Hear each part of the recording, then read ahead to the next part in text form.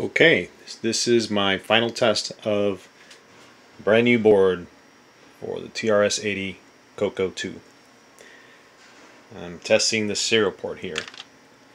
So what I'm planning on doing is connecting the I.O. port, which is a standard RS-232, well, I guess not a standard RS-232 port, but a three-wire RS-232 port. Okay, and I'm just hooking it into a USB to serial converter that's connected to my computer. I found a document online. that describes what the pinout is. Alright. So I'm going to be using transmit data and receive data and ground. And so a printer, um, you know, at first you would think it's a two, a one-way communications thing, but it's really a two-way, right? Because you're transmitting characters to the printer, which it will receive on the receive line, right? And and then you gotta you know make sure that it works, um, that it received it. So the printer you know sends out you know a ready signal that actually goes into the receive data of the TRS-80. So I will be testing transmit and receive, even though we're not necessarily sending data, but we are testing, you know, the, uh, you know that the, the, the traces are good and that the salt chip is wired correctly and all that. so here's a little map I made just to wire it up, and we're going from, you know, we're connecting the two grounds, of course. It's uh, the I/O port on the TRS-80, 3 5. Uh, 4 is data out to the printer, right? And then goes into pin 2 of the DB9 connector which is receive. And then uh, pin 2 which is receive data on the TRS-80 right is expecting a signal. I chose to use RTS ready to send uh, to let it know that it was always ready. So just send data it's just going to spit data out okay?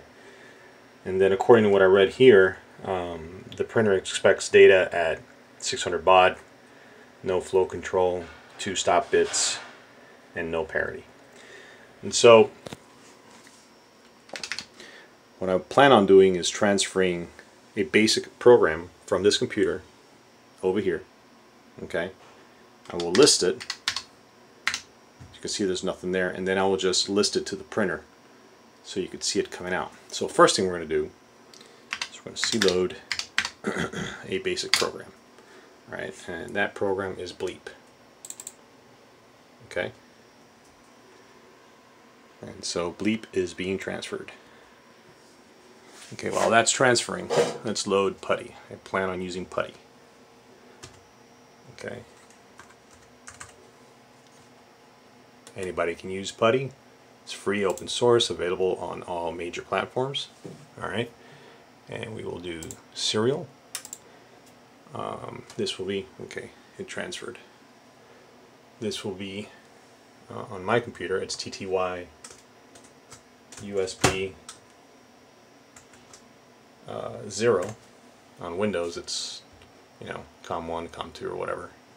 It's expecting a speed of 600 baud. The printer um, communicates at 600 baud. This will be the printer, right? So we're going to have to configure this a little more. Let's go serial configuration here. Okay, 608 stop bits documentation says should be 2. Okay, parity is none, flow control is none. Alright, so let's put this out of the way here a second. let's see, what's the other thing we need to do?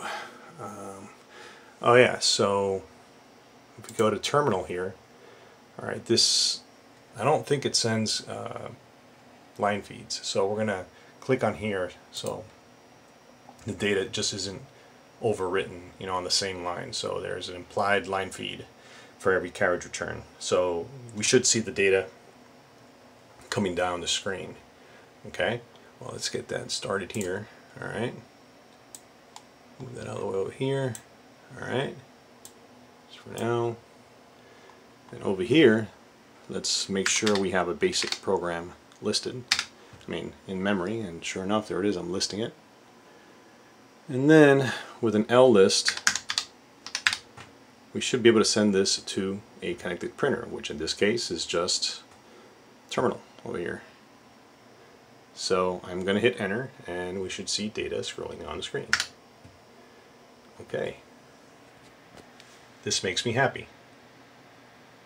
This means that I've tested, I think, everything I can on the board.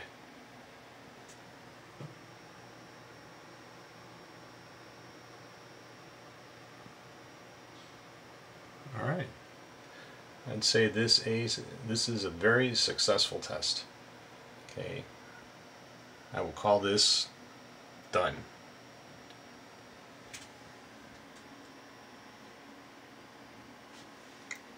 Don't think I can break this.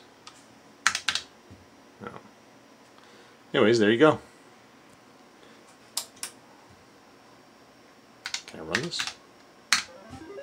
There we go. Alright, whatever. Error. Okay. Fantastic.